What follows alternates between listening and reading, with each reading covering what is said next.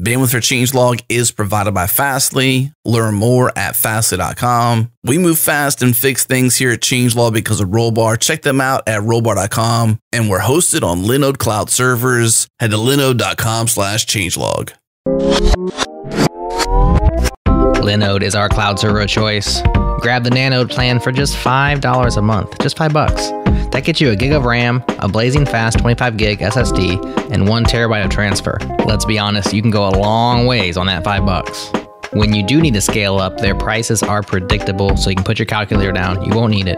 We've been running changelog.com on Linode for years, and we've always impressed by their award-winning support team. Check them out at linode.com slash changelog. Once again, that's linode.com slash changelog.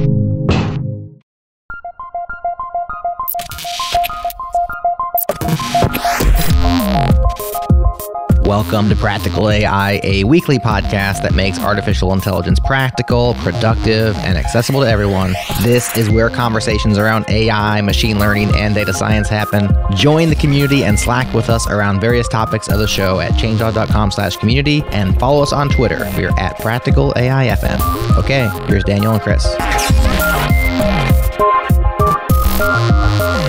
Welcome to another episode of Practical AI. This is Daniel Whitenack. I'm a data scientist with SIL International, and I'm joined as always by my co host, Chris Benson, who is a principal AI strategist at Lockheed Martin. How's it going, Chris? Doing great, Daniel. How's it going today? It's it's going great. It was a beautiful weekend after finishing a submit a paper submission to a conference. So you know all all was good. I got to relax and and be outside a little bit and uh, feel the satisfaction of of having that done. So what about you? Uh, sounds good. Uh, just family stuff over the weekend. I had the satisfaction of, of both my, my daughter, who's in second grade, is into basketball, and we raised the goal all the way up to the 10 foot mark. Whoa. And uh, so she's she's learning that. The big time. And we transitioned her up to a larger bicycle as well. So both big daddy moments for me. So not, not AI related, but it was a good weekend in that way. That is exciting, though. yeah. Yeah. Cool. Well, I'm excited about the show today. We have a topic that is very interesting related to conversational data and extracting insights. We're joined by Mike McCourt, who is a data scientist at Invoca, to talk a little bit about that subject. So, welcome, Mike. Hi, thank you for having me. Before we jump into that, uh, would you just give us a little bit of a background to help us understand how you got into AI and data science stuff? And then we'll take it from there. Absolutely. Yeah. So, my arrival into the AI world was totally fortuitous. Um, I'd, I'd, not planned on it at all, really. Uh, my original goal was to be a college professor, and I really wanted to study astrophysics and to do research in that field and to teach, studying how structure formed in the universe and how we came to be here. And so, you know, I worked for probably 10 years dutifully towards that end. I uh, majored in physics and theoretical physics in college and got a PhD in astrophysics. And then I moved all the way across the country for a postdoc position, which is like a research position in science. And then moved all the way across the country again for another one. And, you know, as I was dutifully working towards this goal of being a professor, I was getting less and less sure that that was the life I wanted. And at the same time, I'd seen this new field of AI just like take off and blossom. And what year was this around? Well, so I was in college 2004 to 2008. Okay. And basically never heard of AI in that time frame. I mean, I, I knew of some people in the computer science department who were doing research in AI. And then like midway through grad school, 2010, 2011, I started to hear more and more about it. It seemed interesting. And like by the end of grad school, you know, to an outsider, AI was like hot. And by the end of my first postdoc, AI was really hot. You know, I saw how fast the field was moving and new inventions were coming and it seemed like it was advancing by leaps and bounds. And eventually I got jealous and I wanted to make the switch. So yeah, it's interesting. It it seems like your even the years. So I I was also in college 2004 to 2008 and then went to grad school in physics. So we've got a lot of similarities there except I guess you stuck you had more perseverance than than I did. I didn't make it through the postdoc. I jumped ship before then into industry. Yeah. But it is interesting. I guess there's really a lot of astrophysics and also high energy physics people getting into this space. Um, at least that's my understanding now. I'm kind of more removed from it than you, maybe. As the non physicist in the group, I have to say, I've noticed that it seems like the uh, AI is breaking out with physicists these days. It's a good thing, by the way. yeah, totally. Yeah. Yeah. So you jumped earlier than I did. I, I think you could see farther than I could. But yeah, I feel like uh, almost all of my colleagues now from grad school are in data science or AI. Yeah, well, it's definitely very competitive in terms of like tenure track physics positions right now. But the demand for AI talent and data science talent is so huge that, you know, I, I think that's driving a bit of that. Before we dive in, you know, and, and talk about what we were planning to, I'm just kind of curious with both of you here. Uh, any thoughts on is there kind of a natural progression? Do you think these days for physicists to to move into AI, a kind of a natural synergy between the two? I'll let Mike go there maybe. He was in physics longer than me, maybe. I made the jump more recently, I think. Yeah, I think for me, I felt like physics prepared me extremely well for the jump into data, data science. You know, I think in, in physics, what you're trained to do is to take some observation about the world, some fact that you'd like to understand and explain. And then you come up with a model that you believe could explain it. And then you have to grind through the math and turn that model into something that can make predictions. And in the process, you have to collect some data, you have to inform your model, you have to fit for parameters in the model, and you have to understand your uncertainty in all those. And then at the end of the day, you have to make a prediction, and then then you have to convince someone else to go run an experiment and test your prediction. And if your predictions come out well, then then you believe that you've learned something about the universe and you can publish that. I think that process in AI is pretty similar. Yeah, it's a great parallel there that you that you outline. Yeah, so the, the focus is different. You know, in physics, we don't really care about the predictions on their own. The predictions are there to test our theories, and the, the theory and the model is really the product that we want to give to the world. And working in AI, you know, the, the model actually is typically something that we, well, sometimes we hide it, or, or at least it's not really the focus the internal workings of the model isn't what we care the most about. It's the predictions that we care the most about. But I think that that process is broadly similar. Yeah, definitely. I, I agree. And I think you expressed it much better than I could. So it seems like you, you've also uh, developed the important data science characteristic of being able to to explain things and, and frame things well. So I don't know if that's something you learned in physics or, or afterwards, but um, yeah, appreciate that. So tell us a little bit more about how you got involved with Invoca and in your path to sort of what you're doing right now. I got very lucky landing at Invoca. so, like I said, I was kind of, I was very, I had a laser like focus on my physics career trajectory. I'd never really considered anything else until I kind of got towards the end and realized AI seemed more interesting to me. So I was not really aware of what was going on in industry. And I made the jump a little bit blind. But, you know, while I was making major life decisions, I decided I wanted to work in AI. And I decided that if possible, I wanted to live in Santa Barbara. I'd always loved the city here. And I didn't know if there would be AI positions in Santa Barbara. So I just started searching and I found this company called Invoca and, you know, I, as a scientist, Invoca does call analytics for marketing. I didn't know that much about phone calls and I knew almost nothing about marketing. Uh, but it looked like an awesome company, especially what was really interesting to me was the data set that Invoca has because we study phone calls here. That's an unusual data set. Most, most of the research, at least, in AI now is not focused on phone calls. So it's kind of a unique problem and a, in a big data set and it looked like a fantastic company to work for. And so even though I came in knowing almost nothing about marketing, I was able to convince them that my skills as an astrophysicist would be useful to them and landed a fantastic job at a really great company here. So you kind of led right into where I was about to ask you, and that is I had looked at Invoca's website and it talks about Invoca being this AI powered call tracking and analytics platform. And so you've already kind of talked a little bit about this interesting data set. And and so I guess for those of us who are not in that particular field, could you talk a little bit about what call analytics mean? And also I noticed on the webpage it talks about campaign attribution and it refers to some actionable data. And if you could kind of talk about how all those fit together and what they mean in this context, I'd really appreciate it. Absolutely. So keep in mind, I'm I'm not a marketer, so I'll do my best at explaining the value proposition of what we do. You know, I think now uh, marketers, when a transaction happens online, marketers are used to getting all of this attribution information.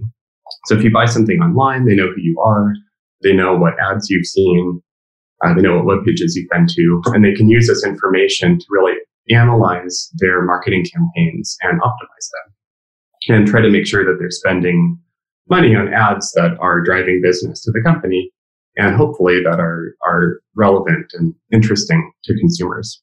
Yeah, so it's not just like broadcast marketing. The trend at least now is is very targeted marketing, right? Yeah, it's changed a lot in, in recent decades. But as soon as you pick up the phone, they lose a lot of that information about you. If you don't finally make your purchase online, but you pick up the phone and call them and make your purchase there, then a lot of that attribution is lost. And that's important because a lot of high value transactions still happen over the phone. You know, if you're buying a new sweater, you'll do that online. But if you're getting an air conditioner installed in your house, you typically want to pick up the phone and talk to someone before you make that decision. That's a great point in terms of how real life works, you know, when you're doing that. Yeah. And so, you know, if you're shopping for mortgages or home improvement things, or if you're booking vacation on a cruise line, you know, big high value transactions, they still tend to happen over the phone. And uh, Invoca works to close that gap so that marketers can analyze the transactions that happen over the phone and link those to their marketing campaigns. And I'm I'm just curious. Uh, I did spend a number of years as as a technology person uh, in marketing organizations. And how do you actually make the link? Or do you in this case is if they're starting online and you know traditionally marketing has focused so much on on analytics with online activity and then they've totally moved over into this new medium and you start your analytics there uh, which I, I guess we're about to learn about and but how do you actually make that connection between the two? Yeah, that's an excellent question.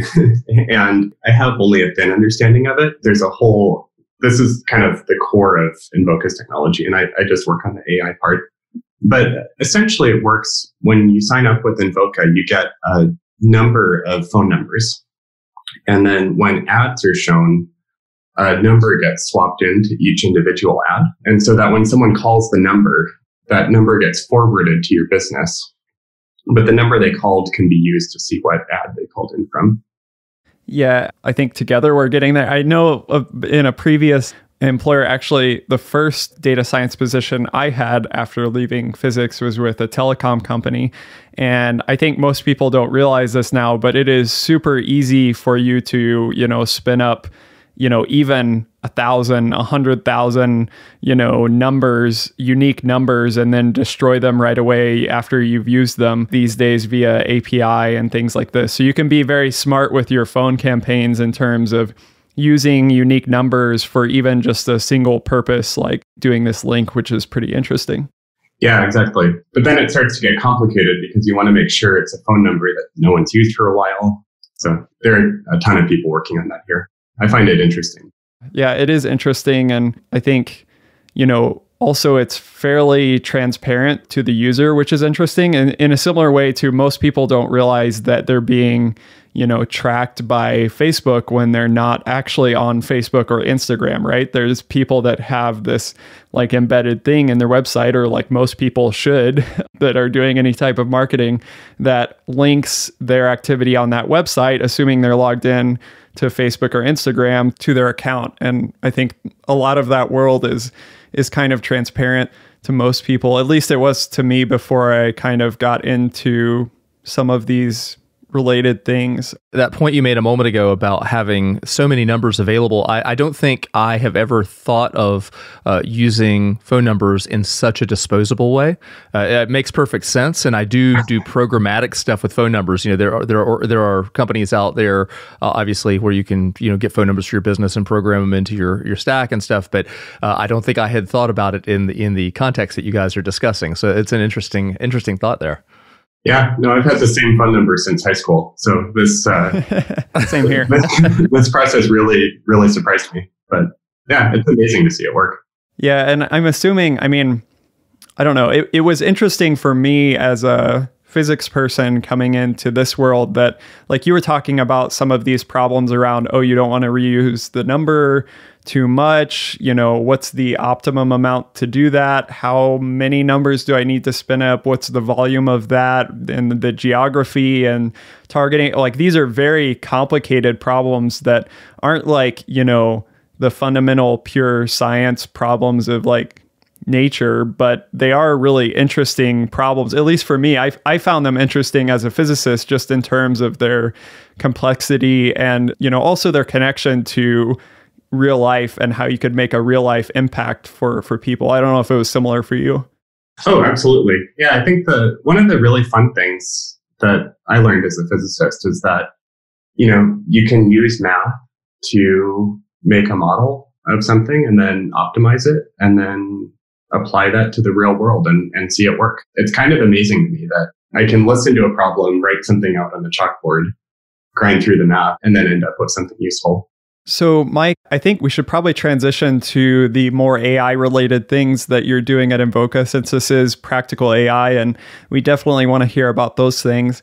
And one of the things I know that was highlighted as we were talking before the show was this product called Signal AI and some of the things you're doing around that. Um, could you maybe just give us a bit of the motivation behind that product and you know at Invoca and how it came about? Yeah, absolutely. As I mentioned, we do well. The kind of core of Invoca is call tracking, so you can attribute a phone call to an ad. Um, that would allow you to see which ads were driving the most calls. But really, you know, as a marketer, what you want to understand is what's driving revenue. And that requires understanding what actually happened on each of the calls. So you don't want to just optimize for a marketing campaign that drove more calls. You want to optimize for one that drives more calls of people who actually go on and buy something. Yeah, you don't want vanity metrics similar to like you wouldn't want to optimize an ad for just like clicks of the like button on Facebook or something like that. Yeah, exactly. You know, at the end of the day, you need revenue. And so Signal AI is, is our answer to that. It's a, it's a product that will actually analyze what takes place on the call and tell you whether it was a purchase or whether it was an appointment or a cancellation or whatever it is that, that you happen to want to track uh, to attribute to your campaigns. So Signal AI is a supervised model. Um, and what that means is that the, the model is trained by labeled data that's provided by the user. So if you you know, let's say that you're a dentist's office and what really matters to you is appointments. You're looking for new patients, uh, new people to come in, and you want to increase the number of appointments you're, you're getting per, per month. You would provide us with, say, 150 calls where an appointment was made and 150 calls where an appointment was not made. And you could train a signal AI model that would now listen to all of your incoming calls as they're routed through Invoca and tag them as true or false for appointment. And then you could feed this information back into your, your marketing system to try to optimize uh, not only which ad campaigns are driving the most calls, but which are which ad campaigns are actually bringing people into your office for appointments. So are you are you primarily classifying the call in, from the AI perspective, or are you doing more than just classification uh, with the AI stuff? Can you kind of talk about you know how that fits in directly? Uh, yeah, so Signal AI exactly it's classification. You know, was it an appointment? Was it rescheduling, cancellation? I'm just kind of curious. Are there any other aspects of the like, particularly around uh, NLP, natural language processing, that that you guys are focused on, like uh, aside from classification? Well, I think for for Signal AI, a lot of the processing that we do, you know, at, at the end of the day, what we want is classification. Classification is actually difficult on phone calls for a number of reasons that I find interesting. One is that phone calls range really widely in length. And so if you listen to phone calls made to, to businesses, a lot of them are, you know, three minutes long or, or even less than a minute in some cases. And some of them are, can be two hours long. And so a classification algorithm has to be able to handle this wide range in lengths of phone calls. And that can be tricky because if the classifier is looking for a particular pattern in a phone call, you know, if the phone call is really, really long, the odds that that pattern is going to appear randomly increases. So it's tough to be able to handle that, that range of lengths in phone calls. And then another thing that, that I find really interesting about phone calls is that, you know, English is such a rich language that no two people are going to express themselves the exact same way. Even for something as simple as scheduling, sticking with the example of a dentist's office, you know, scheduling an appointment for a cleaning at a dentist's office, that's a relatively simple thing to do. But if you listen to a hundred phone calls where people are all doing the same thing, they have the same goal, no two of them are going to use the exact same sequence of words. You know, there's enough freedom in English that we can all express ourselves a little bit differently. A classifier algorithm that's working on phone calls has to be really sensitive at pulling these patterns out of speech. But at the same time on phone calls, there are certain things that are exactly the same from one call to the next. You know, if there's a hold message on the call, uh, if you call or I call, we're going to hear the exact same sequence of words in the hold message. And so if a, if a classifier algorithm is too sensitive at pulling these patterns out, you know, it'll, it'll get tripped up on these recordings that are present in phone calls.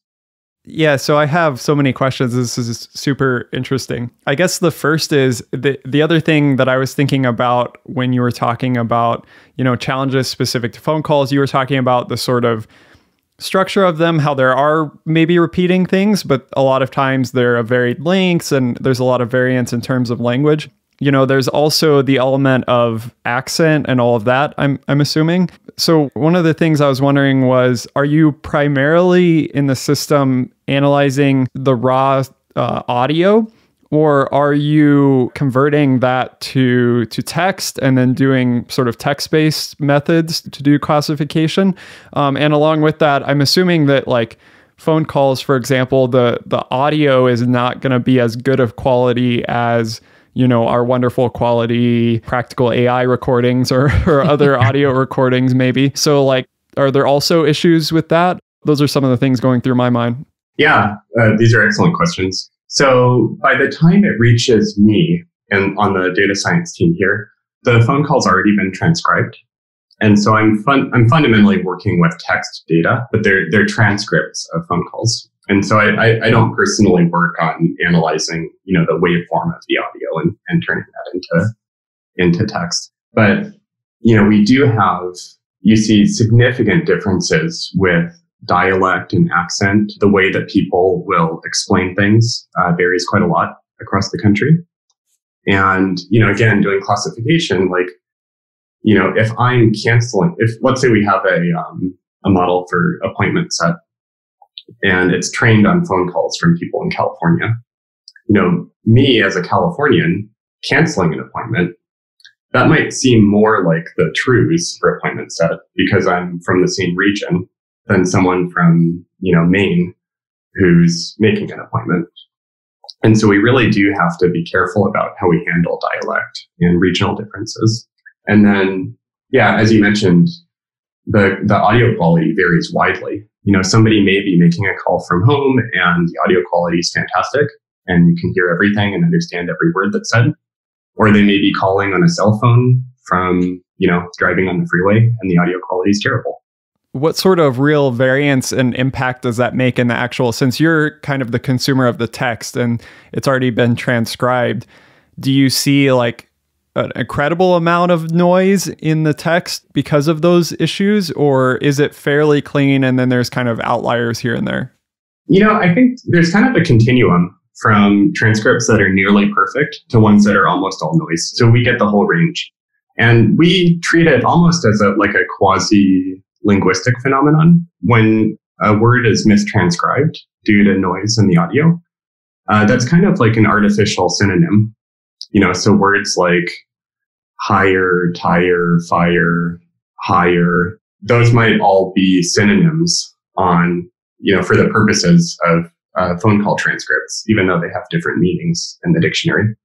So I'm curious, as you go through this process, and I've been listening to you and Daniel, and, and Daniel's also a real NLP expert, and so uh, I'm trying to learn from both of y'all. Are you using multiple models in your workflow as you're coming through this, or is that is there one master model? You know, how which approach are you taking, and how do you account for variability within the different speakers, given the fact I know Daniel mentioned accent a few minutes ago. So, as you run into all these variations that you can have, I guess from an accent standpoint, that would be out from because you're only dealing with text, right? But at some point, are you thinking about doing the raw audio and maybe you do things like sentiment analysis or anything? And I guess I'm I'm running all over the place here, but I'm just trying to understand. Yeah. So, are you using multiple models in your workflow for like different types of calls, like calls of this accent type or of this dialect. It has one model and then calls of a different accent or dialect have a different model. Also you mentioned like segmenting things so like the hold music or message and that sort of thing. So you,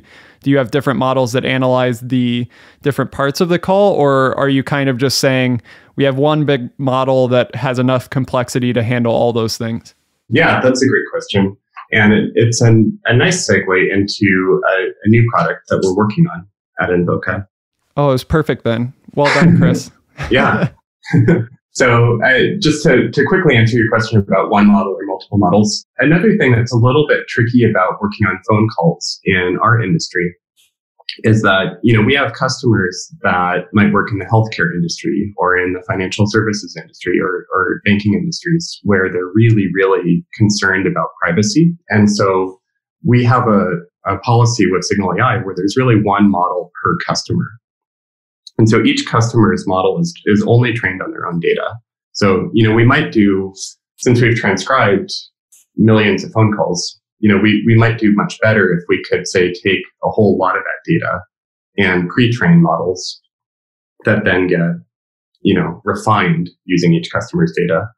But we've, we've decided not to do that. And so each customer's model is trained only on their own data. And so sometimes there's not that much data. We might have to make a model with only a few hundred phone calls uh, that has to handle all these different regional variations. And so the, the way that we try to make that work in practice is partly by recognizing and stripping out hold messages as well as we can. You know, often a hold message essentially plays advertisements and that can sound just like a purchase. And that, that actually can be really confusing to our models. Uh, so, so we try to strip that stuff out as well as we can. And then once the recorded stuff is removed, then we try to make our models really, really parsimonious. And so they only include words and phrases into their predictions if there's solid statistical evidence that they really matter. I don't know if that answered your question. Yeah, no, it did. And I'm I'm kind of curious a little bit more on that. Like given the sort of privacy things that you're dealing with and, and all of that stuff and, and your limitation to have this model per customer, like in your experience, how much data is is a hundred calls enough to create something useful or how much is needed? And then I'm assuming, are you kind of updating this over time? Is there some sort of human in the loop element from the client who's able to kind of help fine tune things over time? Yeah, absolutely. So a, a, customer can upload some data and train their own model. Another tricky thing about our industry is, or at least Invoca's models, is we have that we decided to make them totally self-serve. So our models are not actually trained by data scientists; they're trained by the customer. And so we really have to have to make them as bulletproof as we can. But a, a customer can upload some data and uh, get their model up and running. And when their model makes predictions, you know, every call that comes through Invoca gets marked now as true or false. Uh, let's say for appointment set. And then the customer has the opportunity to listen to some calls and correct them. You know, if we mark a call as true, customer can listen to that and say, no, that wasn't an appointment. And they give it a little thumbs down.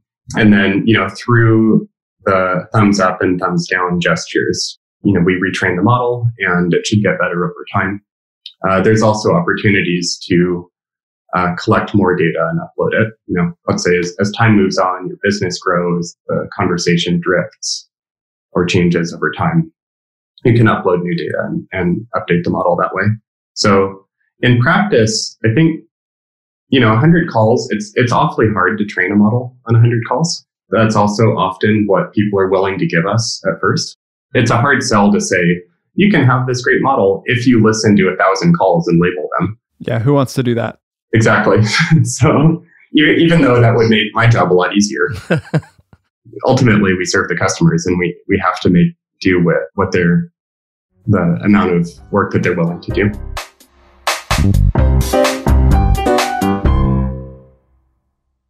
Have you heard of our newest show called Brain Science? Yes, Brain Science. It's a different kind of show, I know, and it's probably one of the ones that reaches the furthest out from our typical listener audience. But this podcast is what we call for the curious. And what's cool about this show is we're exploring the inner workings of the human brain to understand things like behavior change, habit formation, mental health, and pretty much what it means to be human. If you've ever thought about why you do what you do or why others do what they do, then this show is for you. Head to changelog.com slash brain science to listen, subscribe, and learn more about this awesome show. Here's a preview of a recent episode called One Small Act of Kindness, talking about empathy and mirror neurons. So it sounds like pliability and flexibility is a pretty crucial role too in relationships because if you're not flexible, bendable, pliable, whatever, however you want to phrase that, mm-hmm.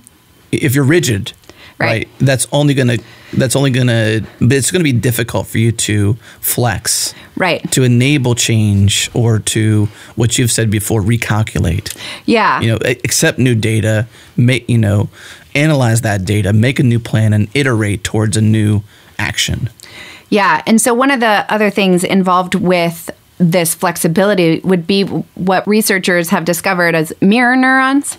And right. so, mirror neurons are these neurons within the brain that help us sort of get access to another person's emotional experience. And so there's a, an action component in it that it was first discovered actually with monkeys and this sort of mimicry that occurred by watching somebody else do an action.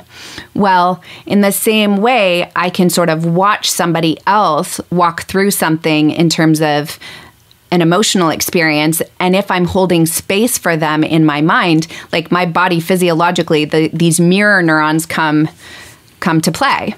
Is that why people cry when they watch movies or certain movies? Because their mirror neurons are firing because they're watching somebody go through a situation and they're empathizing with them and can't help but encapsulate themselves mm-hmm. into their scenario and feel what they're feeling. Mm-hmm. Is that why? Yes. Okay. So is that why anybody cries at anything when it's like say movie related because they're think that's of, what's happening? Yeah, think about it sort of like this emotional contagion, right? So That's interesting to put it that way. I we've said mirror neurons several times, but this emotional contagion, I, I believe, is actually a, a, better subtitle for mirror neurons. Mm-hmm. Yeah. And so some of this emotional contagion or mirror neurons, like the research has been rooted in aspects of pain, because if I can recognize sort of the suffering of another. All right. To keep listening, head to changelog.com slash brain science slash nine. That will take you to the episode titled One Small Act of Kindness Mireille and I dig into this thing called empathy as a construct. We ask questions like what key brain structures are involved?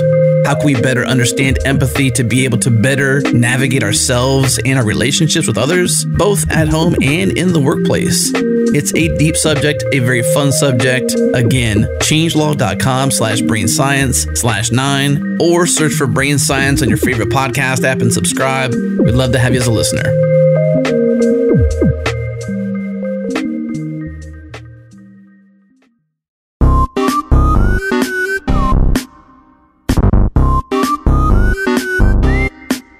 So, Mike, a, a, moment ago, you were talking about uh, the fact that uh, you have this customer self-service part of your process, and I found that interesting. It's a it's an interesting choice that you made there, uh, and not something we hear all the time. And I, I was really wondering if you would kind of take a moment and tell us a little bit about how you've made that work for you, what that customer experience is like for them to do it, and the fact that they can update. And you know, what what does it mean that they can update their model from your perspective?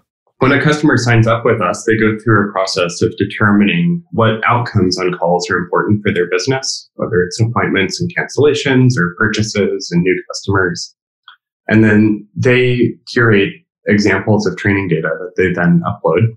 And once that happens, our models train on that data kind of behind the scenes. We typically have a few different varieties that we try out and train. And then we measure how well each of these models is performing.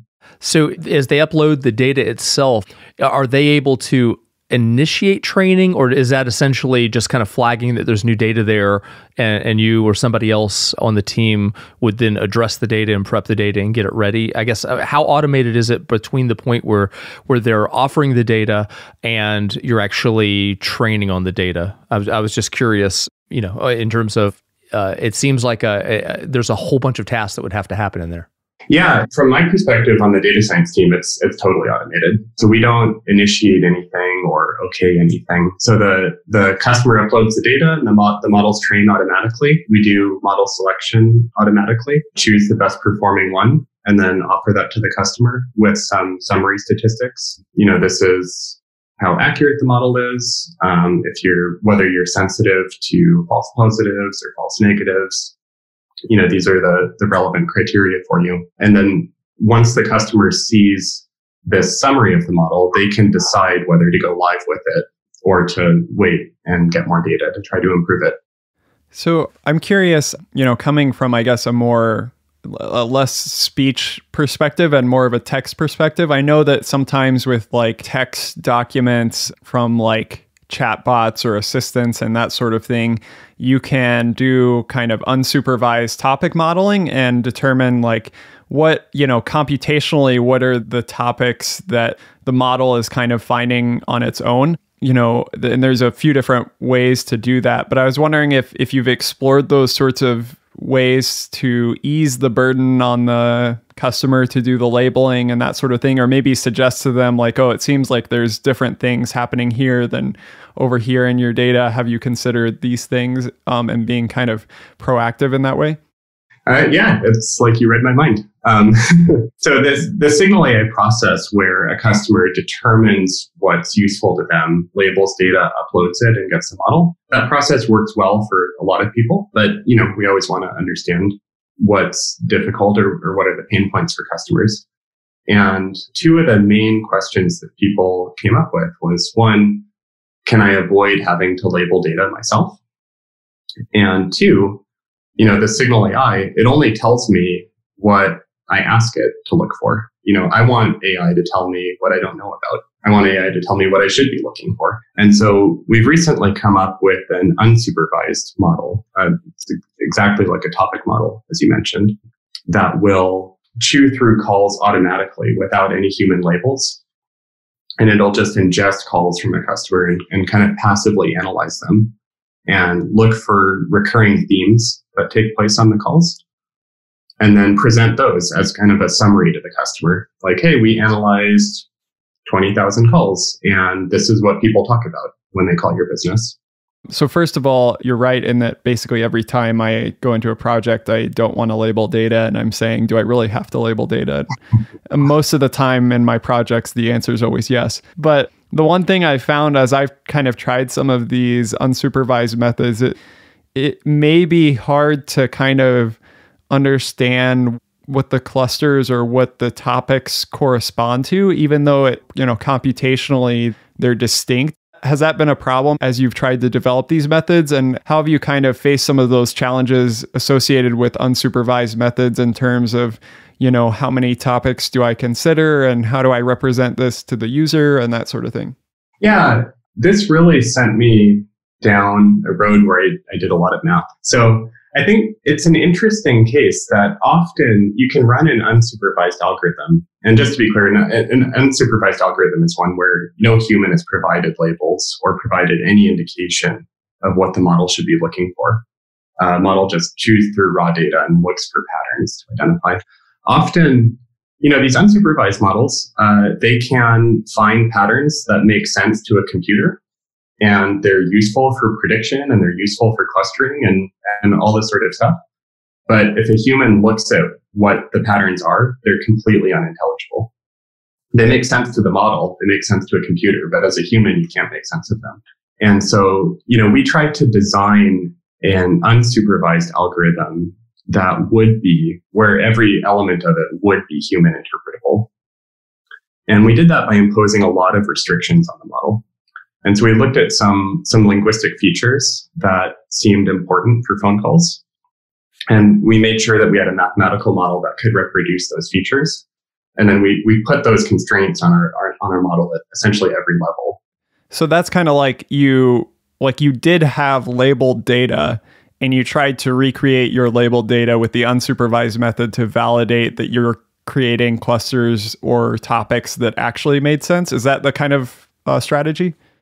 Uh, no, so there, there are no labels that are that are made by humans, but there are statistical properties of language. Oh, I see. You think are really important.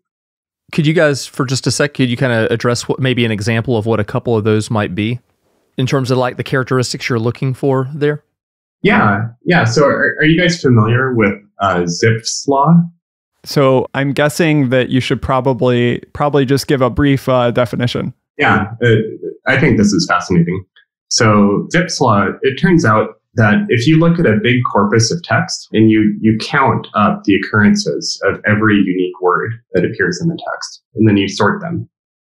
So you know how often the most common word is. And that, that word's typically the um, in written text. It's not in phone calls. So you, you take the most common word and you see how often that appears. The second most common word will appear about half as often as the most common word. And the tenth most common word will appear about a tenth as often as the most common word. And the hundredth most common word will appear about a hundredth as often as the most common word, and so on. And so language really sorts itself out into this interesting relationship, uh, and that's called Zipf's law. And I think that's important. Uh, well, for two reasons. One is that on the Wikipedia page for Zipf's law, there's this amazing plot where someone has analyzed all of the English language uh, Wikipedia pages and they've made this plot for English. And of course, it follows this relationship because that's how the relationship was discovered. But then they went and did it for Spanish and for French and German and Croatian. And I think they did it for 30 different languages. And they're, you know, Latin based languages and Germanic languages and Asian languages. And amazingly, all of them obey this relationship. And so there seems to be something really fundamental about human communication that creates this behavior. Where there, there's some words that are really common and they appear all the time. And then there's a long, long tail of rare words. And the rare words tend to be really specific words that have a lot of meaning. And so, so language tends to sort itself out into this relationship. I don't think we fully understand what creates it, but it is clear that it's a common property across language. And, and so that's an example of something that we really wanted our model to be able to recreate.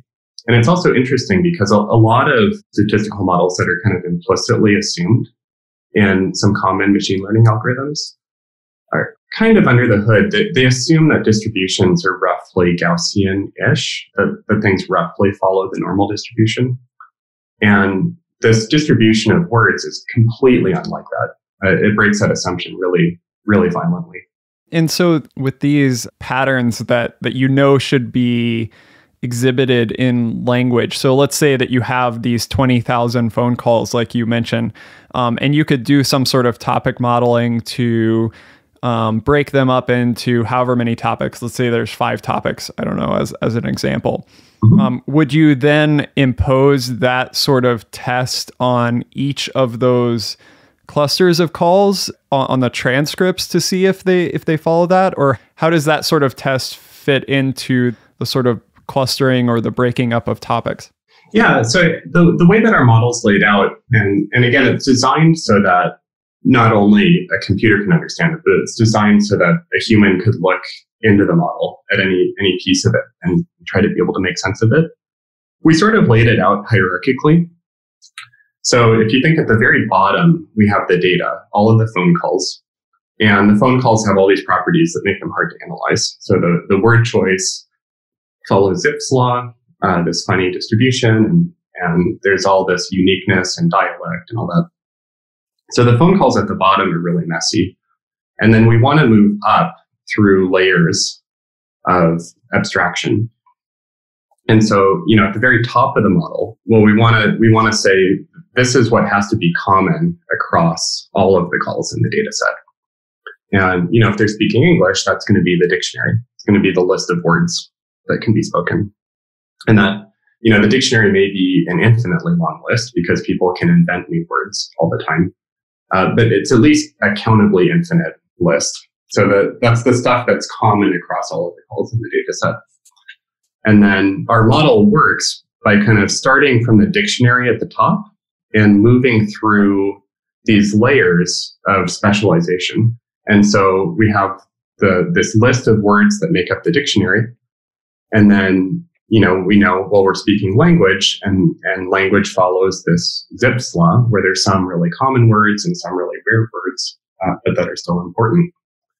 And so we have to derive a probability for each word uh, that follows this, this power law relationship. And so that gives us, I call it a lexicon, but it's, it's essentially the words with their associated probabilities. And then where the topic modeling comes in is we say, okay, well, the, the words, the dictionary defines the language you're speaking. That lexicon now defines kind of what an average phone call looks like. And so that's going to vary from one customer to the next or from one industry to the next. You know, you're going to use different words if you're calling a car dealership or a hospital. But then that lexicon, it's still, it's still too abstract. It's just telling you what an average call looks like. And so that lexicon is going to go through, again, several layers of specialization. And each of those are going to be these, these power law type distributions. But it's going to split that lexicon into, well, these are the words that you use if you're making an appointment, or if you're canceling an appointment, or if you're a new customer who's enrolling for the first time, or so on. Gotcha. So you have the the commonalities of the language and how words are used in the language. It sounds like your goal in developing the unsupervised method is then to take things those steps lower where you what you're really trying to develop are those probabilities of um, or the power laws associated with the words associated with reservation or the words associated with purchase or with making an appointment or whatever the, the thing is. So you have these sets of calls that have a certain more distinct statistical relationship amongst themselves that allow you to separate them out. That that's kind of the the goal that I'm picking up on. Did, did I say that right? Yeah, no, that's exactly right. We want our topics to kind of float above the data. Uh, the topics, you know, because all calls are going to be different and everyone has their own dialect and their own individual problems.